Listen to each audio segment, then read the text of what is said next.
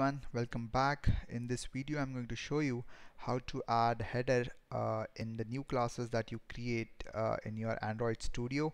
So if you see I have created a test project and let me go ahead and create a new class file. Let me call it test1 and let me create click on OK. So now if you see that it has created a class called test1 but it does not have uh, author header on the top of it right? So to add the author header uh, you need to go to uh, Android Studio preferences. Uh, then here you need to find uh, editor and then file and code template inside that editor.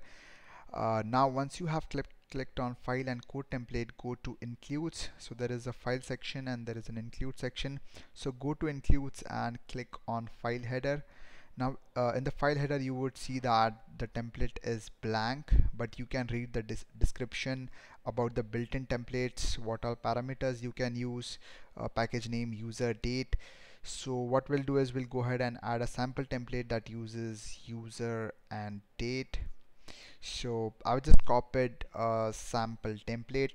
What it does is it basically sets user as a which is me and then it adds a comment section uh, in the header which says created by the user which we have set as a Thakur and created on date. And you can see the date is the current system date right? So you can use any of the placeholders that are available here in this template and it will automatically get picked and used uh, in the template.